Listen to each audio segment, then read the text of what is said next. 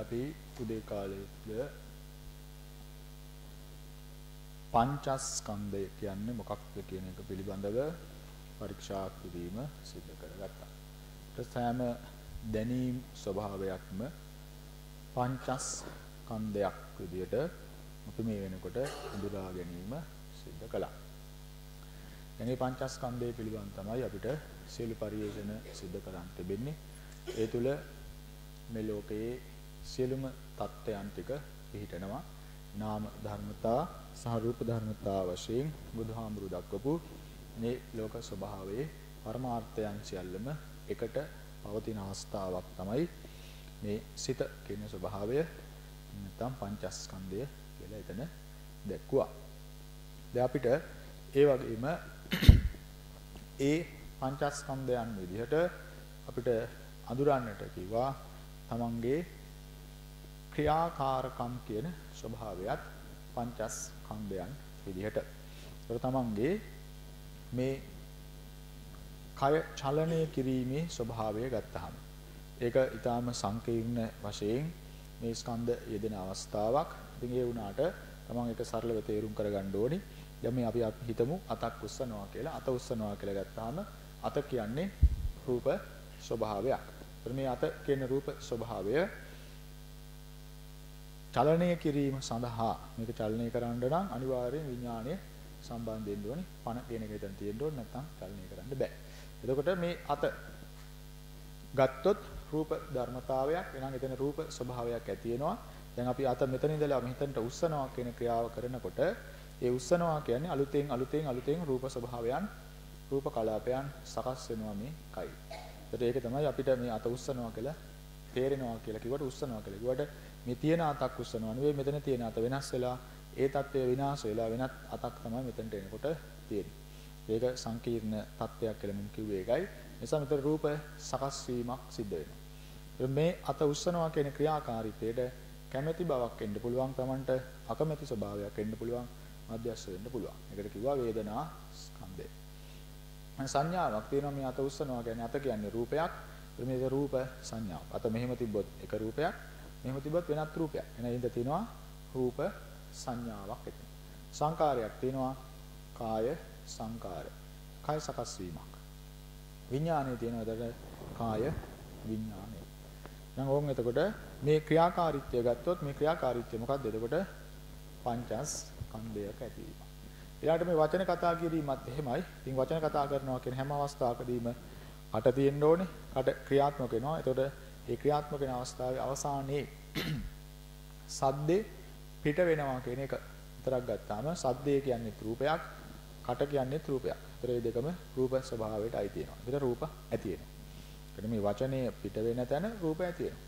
ඒකට කැමැති වෙන්න පුළුවන් වචනයට පිට කරන්න අකමැති වෙන්න පුළුවන් මධ්‍යස්ථතාවය ඇති වෙන්න පුළුවන් වේදනාවක් තියෙනවා සංඥාවක් තියෙනවා එතන සද්දය හඬ කියන සංඥාව සංකාරය තියෙනවා වචී සංකාරය විඥානය තියෙනවා ආයි කාය විඥානය කාය විඥානය තියෙනවා ඊළඟට මතක් කිරීමට අමතරව හිතනවා කියලා ක්‍රියාකාරීත්වයක් ගැන මම මතක් කළා කියලා දුන්නා එහෙම නැත්නම් සිතුවිලි සකස් කර ගැනීම කියන ක්‍රියාකාරීත්වය. ඒකත් ඇවිල්ලා පංචස්කන්ධයක්. ඒකට තමයි අපි කියන්නේ හිතනවා කියලා. හිතනවා කියන අවස්ථාවල් පංචස්කන්ධයක්. ඒකටත් මොලේ ඕන සිතුවිල්ලක් ඕන. මොලේයි සිතුවිල්ලයි එක විඥාන එකතු වෙලා තමයි නැවතත් සිතුවිල්ලක් සකස් කර ගැනීම කරන්නේ. ඉතින් ඒ සිතුවිල්ල සකස් කර ගැනීමට තමයි චිත්ත සංකාරයක් විදියට දක්වන්නේ සිතක් කියලා කියන්නේ ආන් එකට. මේ සිතුවිලි සකස් කර ගැනීමේ ක්‍රියාවලියට සිතනවා කියලා තමයි ධර්මයේ තුල කියන්නේ. එතකොට මොලේ සහ සිතුවිල්ල කියන එක සුද්ධාෂ්ටකයෙන් හැදිච්ච රූප ස්වභාවයන්. ඒකට ඒකට කැමැති බව හෝ අකමැති බව ඇතිවීම මධ්‍යස්ථ වීම වේදනා ස්වභාවය. සංඥාවක් දෙනවා සිතුවිලි කියන සංඥාව සංකාරයක් ඇති වෙනවා චිත්ත සංකාරයක්. සිතක් ඇති වෙන්නේ විඥානය තියෙනවා මනෝ විඥානය. ඔන්න ඔය විදිහට තමන්ගේ දැනීම් හයට අමතරව මෙන්න මේ ක්‍රියාකාරීත්වයන් තුනත් පංචස් ස්කන්ධ විදියට අඳුරන්න ඕනේ. සෑම ක්‍රියාවක් තුළම පංචස්කන්ධයක් ඇති වෙනවා. සෑම වචනයක් තුළම සෑම අකුරක් තුළම ඒක එක අකුරක් කතා කරත් ඒ හැම අකුරක් ගානෙම පංචස්කන්ධ පංචස්කන්ධ පහළ වෙනවා. හරිද? ඒ තමයි අනන්ත පංචස්කන්ධ ස්වභාවයන් ටිකක් තමයි මේ ලෝකේම ක්‍රියාත්මක භාවයේ තියෙන්නේ. එතකොට හිතන හැම අවස්ථාවකම පංචස්කන්ධයන් පහළ වෙලා තියෙනවා. එතකොට මෙන්න මේ පංචස්කන්ධයන් තුළ කිසිම තැනක තමන් අවබෝධයේ දැක දැනගන්න ඕනි දේ තමයි සත්‍ය භාවයක් නැහැ. පුද්ගල භාවයක් නැහැ. මම කියලා ඒක දකින්න දෙයක් නැහැ. මගේ කියලා පවත්වන්න බෑ. එතකොට අන්න ඒක තමයි ඔය ස්කන්ධය ක්‍රියාත්මක වෙන තැනේදී අවිද්‍යාව කියන මේ ස්වභාවය එකතු වීමෙන් ගොඩනැගෙන தත්ත්වය. එතකොට එන්නේ අවිද්‍යාව එකතු වීම නිසා තමයි බුදුහාමර දක්වන්නේ උපාදානස්කන්ධා. මේ උපාදානය කිරීම තමයි දුක කියලා බුදුහාමර කිව්වේ. උපාදානස්කන්ධා දුක්ඛ එහෙනම් මෙන්න මේ ආකාරයෙන් සංක්ෂිප්ත වශයෙන් බුදුහාමුදුර දක්වනවා සක්කිච්ඡේද පංච උපාදානස්කන්ධා දුක්ඛ.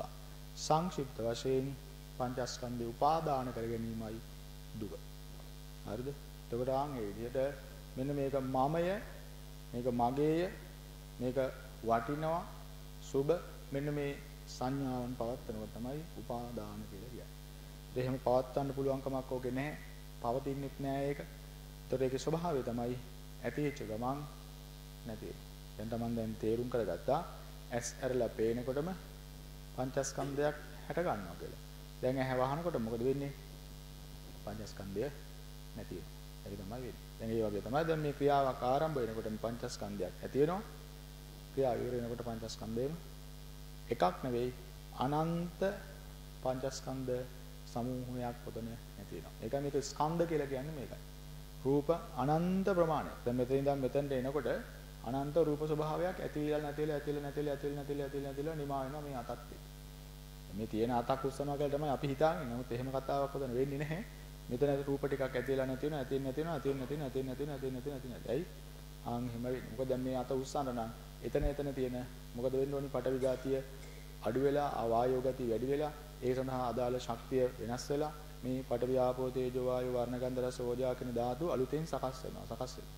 ඒකට වෙනම අර චෛතසික ධර්මතාවයන් 52ක් අපි කිව්වනේ. ඒ 52කින් කාය විඤ්ඤාප්ති කියන ස්වභාවය නැත්නම් කාය ලහුතා කාය මුදුතා කියලා වෙනම තියෙනවා චෛතසික. ආන් ඒවා ක්‍රියාත්මක වෙලා තමයි මේක වෙන්නේ. ඒවා ඉච්ච තමන් හිතන්න ඕනේ නැහැ. ඒවා නොදැනගත්ත කියලා රහත් වෙන්න බැරි නැහැ. හරිද? තමන් දල වශයෙන් වටහා ගන්න ඕනේ මෙතන ඔය කියන ආකාරයෙන් රූප සමුදායක් ඇති වෙනවා. වේදනාවල් අනන්ත ප්‍රමාණයක්. සංඥාවන් අනන්ත ප්‍රමාණයක්. සංකාරات එහෙමයි විඥානත් එහෙමයි. හින්දා දල වශයෙන් දැන් තමයි කරන්න තියෙන්නේ කාර්ය තමයි ඕනෑම ඉරියව්වක් තුළ ඕනෑම ඉරියව්වක් පවත්වන අවස්ථාවක තමන්ට පුළුවන් ඒක පංචස්කන්ධයක ඇතිවීමක් සහ පංචස්කන්ධයක නැතිවීමක් කියලා දකින්න. තේරෙනවද? දැන් තමන් අවිදින්න කකුලක් උස්සනකොට පංචස්කන්ධයක් ඇති වෙනවා. මොකක්ද ඇති වෙන පංචස්කන්ධය එතන? හිතක් එන්නේ. කකුල උස්සන්න කියලා හිතන්න එපා ඉස්සෙල්ලා. හිතනකොට එතන චිත්ත සංකාරයක් හිතනවා කියන පංචස්කන්ධය ඇතිලා. ඒතර හිතලා කකුල උස්සනකොට මොකද වෙන්නේ? හිතපු එක ඉවරයි. කකුල උස්සලා ඉවර වෙනකොට එතන කාය සංකාරයකුත් ඇති වෙලා ඒකත් නැති වෙලා ඉවරයි. තේරෙනවද කියන්නේ? දැන් මේ අත ගැන අඳුර ගන්නකො. දැන් මේ අත උස්සන්න නම් උස්සන්න කියලා හිතනකොට ඔන්න හිතක් ඇති වෙලා. දැන් හිතලා අත උස්සන්න පටන් ගන්නකොටම හිතපු එක හිතපු එක ඉවරයි. අත උස්සන්න හිතලා අත උස්සනවා කියන වැඩේ කරන්න පටන් ගන්නකොට මේ හිත එතන ඉවරයි. හරිද? ඒතර අත උස්සනවා. එතකොට අපි හිතමු අත උස්සලා ඉවරකුණා. ඉවර වෙනකොට මොකද වෙන්නේ? අර හිතපු එකත් අත උස්සන්න ඕන කියලා හිතපු ඒ පංචස්කන්ධයත් ඉවරයි. දැන් අත උස්සනවා කියන්නේ ඒක තවත් වෙනත් පංචස්කන්ධයක් ඒකත් ඉවරයි. දැන් දැන් පමණට ඕනම ක්‍රියාවක් ආරම්භයේදීම එඳා සරල වශයෙන් තමයි හිතන්නේ මොකද්ද වෙන්නේ? ක්‍රියාව ආරම්භයේදී පංචස්කන්ධයක් ඇති වෙනවා. ක්‍රියාව ඉවර වෙනකොට පංචස්කන්ධයම ඉවරයි. එකක් නෙවෙයි ඈ. පංචස්කන්ධ එකක් එහෙම නෙවෙයි. අනන්ත පංචස්කන්ධ ඔය කියන ආකාරයෙන් ඇතිලා නැතිලා ඇතිලා නැතිලා ඇතිලා නැතිලා ඉවරයි. ආයත් දැන් මේ ක්‍රියාව අතපාත් කරන්න ඕන නම් පාත් කරන්න ඕනි කියලා හිතනකොටම පංචස්කන්ධයක් ඇති වෙනවා. පාත් කළ ඉවරනකොට ඔක්කොම පංචස්කන්ධ නැති. හරිද? ඉතින් ඕනෑම තැනක ඕනෑම ඉරියව්වක් තුළ Tamanට ওই භාවිතාව කළ හැකියි. පංචස්කන්ධේ උද යව්‍ය කියලායි ඕකට කිව්වේ. උදා වීම, වැය වීම, ඇතිවීම, නැතිවීම. එහෙම නැත්නම් අනිත්‍ය. ওই වචන ඔක්කොම එකක් අනිත්‍යයි කියලා කියනවා. එහෙම නැත්නම් උදයව්‍ය කියනවා. ඒක ඇතිවීම නැතිවීම කියනවා. හරිද? උපාද වය කියනවා. ඔය කෝක කිව්වත් ක්‍රියාව එකයි. උපාද වය කියන්නේ ඇති වෙනවා නැති වෙනවා. අනිත්‍ය කියන්නේ ඒත් ඇති වෙනවා නැති වෙනවා. හරිද? උදයව්‍ය කියන්නේ උදය කියන්නේ හට ගන්නවා. වැය කියන්නේ නැති වෙනවා. හරිද? ඔය කෝක බැලුවත් ඔය කෝකෙන් කිව්වත් කියලා තියෙන්නේ එකක් දැනගන්න. එහෙනම් දැන් Tamanට ওই ක්‍රියාකාරකම මම පුරුදු කරනවා තමන්ගේ මේ අත් දෙක පාවිච්චි කරගෙන ඔන්න ඔය වැඩේ කරන්න. දැන් ඇවිදින්න කට්ටිය මෙතන වැඩි ඉඳ ඉඩ මදි වැඩි මදි වෙනවා. ඒ නිසා තමයි මේ විදිහට කරන්න. ඇවිද්දත් ප්‍රශ්නයක් නැහැ කොහොම කරත් ප්‍රශ්නයක් නැහැ. ක්‍රියාකාරීත්වය අවබෝධ කරගන්න ඕනේ. ක්‍රියාව ආරම්භ වෙනකොට මොකද වෙන්නේ? පංචස්කන්ධයක් ඇති වෙනවා කියලා හිතනවා. ක්‍රියාව අවසන් වෙනකොට පංචස්කන්ධය නැති වෙනවා. ආයත් ඒ ක්‍රියාවක් ආරම්භ වෙනකොට ආයත් පංචස්කන්ධයක් ඇති වෙනවා. ක්‍රියාව ඉවර වෙනකොට පංචස්කන්ධය වෙන. තමන් අඳුරගෙන කරන්න ඕන. තමන් හිතලා තේන් හිත හොඳට තේරුම් අරගෙන හිතලා මේක කරගන්න. දැන් ඔන්න බලා ගන්න ඉස්සෙල්ලා තමන්ට දැන් මේ විදිහට කරන්න. අත් දෙක තියාගන්න තමන්ගේ කකුල් දෙකේ අත් දෙක තියාගන්න. වම් අත තියාගන්න වම් කකුල උඩින් දකුණු අත තියාගන්න දකුණු කකුල උඩින් තියාගෙන මේ විදිහට කරන්න බලන්න. දැන් තමන්ට ඔන්න දකුණු අත කෙනේ හිතන්න උස්සන්න ඕන කියලා හිතක් හදාගන්න. නෑ හිතක් හදන්න බෑ ආ ඒකත් පංචස්කන්ධය ඇති වුණා කියලා හිතන දැන් අත උස්සන්න දකුණු අත උස්සන්න දැන් විශ්වාස මොකද වෙන්නේ? ඕම් පංචස්කන්ධ ටික මොකද උනේ? නැති වුණා කියලා හිතන්න උස්සලේ වෙලා දැන් ආයි මෙහෙම තියාගෙන ඉන්නවා කියන්නේ තමන්ට තේරෙන්නේ නැතුනට මෙහෙම තියාගෙන ඉන්නේ හැම මොහොතක් පාසාන් පංචස්කන්ධය ඇති වෙනවා ඇති වෙනවා ඇති වෙනවා ඇති වෙනවා තමන්ට තේරෙන්නේ නැතුව මොකද මෙහෙම තියෙන විදිහක් නැහැ මෙහෙම තියෙන විඥානයද මෙතන ආයත් මේ පංචස්කන්ධය ඇති වෙනවා ඇති වෙනවා තමන්ට තේරෙන්නේ නැතුනට ඇති නැති ඇති නැති ආවෙ හරිද එහෙනම් දැන් ආයත් පාත් කරන්න ඕනි කියලා මොකද වෙන්නේ? ආයත් හිතන්න වෙනවා. හිතනකොටම ආයත් පංචස්කන්ධයක් ඇති වුණා. දැන් අත පාත් කරන්න මොකද වෙන්නේ? පංචස්කන්ධය නැති වුණා. එහෙනම් දැන් ওই විදිහටම වම් අතට යනවා. වම් අත ගැන හිතන ඕන පංචස්කන්ධයක් ඇති වුණා කියලා හිතන්න. අප උස්සන්න ඕනි කියන එකයි හිතෙන්නේ. ඒක හිතෙනකොටම හිතනවා පංචස්කන්ධය ඇති වුණා. දැන් අත උස්සනවා. මොකද වෙන්නේ? පංචස්කන්ධයක් නැති වුණා. ඒවම් පාත් කරන්න කියලා ආයෙත් හිතනවා. හිතනකොටම තමන් කියන ඕන පංචස්කන්ධයක් ඇති වුණා. පාත් කරන්න පංචස්කන්ධය නැති හරිද? ආ දැන් තමන් ටික වෙලාවක ඔක පුහුණු වෙනකම් කරන්න. අස්පියාගෙන කරාට කමක් නැහැ. තමන්ට සැරකෙන කරාට ප්‍රශ්නයක් නැහැ. වෙන හැබැයි අරමුණු ගන්න බෑ. වෙන අරමුණු වලට ගියොත් තමන්ට බලයක් අඩු වෙනවා සමාධි බලය ඉතින් දැන් මොන උස්සන්න ඕනි කියලා හිතලා උත්තනකොටම පංචස්කන්ධය ඇති වුණා උස්සල ඉවරනකොට නැති වුණා ආය පාත් කරන්න කියලා හිතනවා පංචස්කන්ධය ඇති වුණා කියලා තමයි තේරෙන්න ඕනේ. ඒක පාත් කරනවා පංචස්කන්ධය නැති වුණා. ආයෙම මාරුවෙන් මාරට අත් දෙකේම පංචස්කන්ධය ඇති වෙනවා නැති වෙනවා නැති වෙනවා නැති වෙනවා කියලා තමන්ම දකිමින් කරන්න. නුවණින්ම තේරුම් අරගෙන කරන්න. ඒ හැම දැනකම රූප ඇති වෙනවා නැති වෙනවා වේදනා ඇති වෙනවා නැති වෙනවා? සංඥා ඇති වෙනවා නැති වෙනවා? සංකාර ඇති වෙනවා නැති වෙනවා? විඥාන ඇති වෙනවා නැති වෙනවා?